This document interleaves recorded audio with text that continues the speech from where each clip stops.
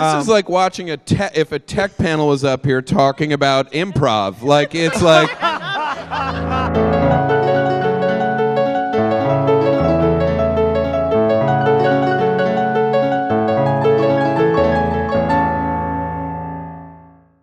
feels like first dates are pointless in the age of Google. Like a first date, all you're doing is showing how well you can pretend to not know everything about the About person you're someone going on a date with. Uh, I did get on Tinder like as a joke.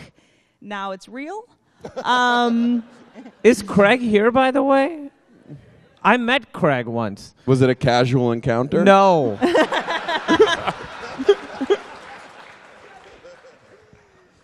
I met him at a, after a Silicon Valley event, and he was like, "Hey, I'm Craig. From Last the name list. list." I was at the Elon Musk thing yesterday, and he was saying he doesn't like Silicon Valley. He was like, Who he did? was- Elon Musk was like, nah. He, they, he's like, they just didn't quite get it right. You didn't talk to Elon Musk. I know, but I watched Walter Isaacson talk to him, and so it was like I talked to him, and I was like, you know what? Hey, Elon, my- I got a lot of friends in Silicon Valley. Your rockets aren't so fucking sweet either. Yeah, your Tesla sucks. I'm Yeah. sorry. It's great. It's a revolution. But I also do. He had to leave, but I wanted to promote his uh, uh, fragrance, Elon Musk's Musk.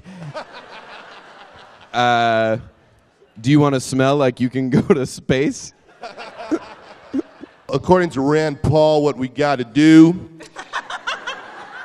we got to create a market and a profit motive to solve these problems.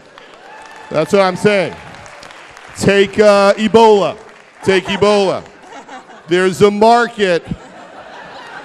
There's a market for coffins, right? So the price of coffins goes down. But don't we want to cure the disease? No, no, don't worry about that part. The coffin is where the money is.